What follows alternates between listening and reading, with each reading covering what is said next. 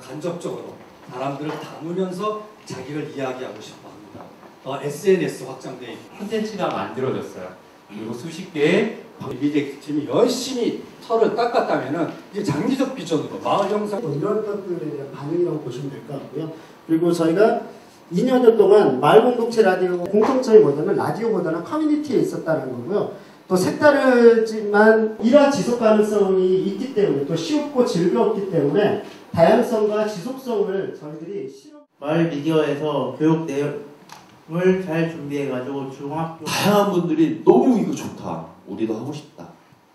이렇게 해서 서- 우리 동네에 이런 소식들이 있구나 하는 것들 아주 쉽게 알 수 있습니다.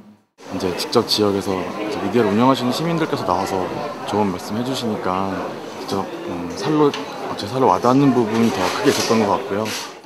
에, 그냥 문제점을 음, 다들 이렇게 뭐라 그럴까 문제점들을 서로 공유했던 거 거기에 대한 건 굉장히 의미가 있다고 생각을 해요. 한다. 잘못하면은 그런 아쉬움이 있습니다. 그래서 저희도 이제 하고 있습니다. 근데 이제 아 여성 미디어 센터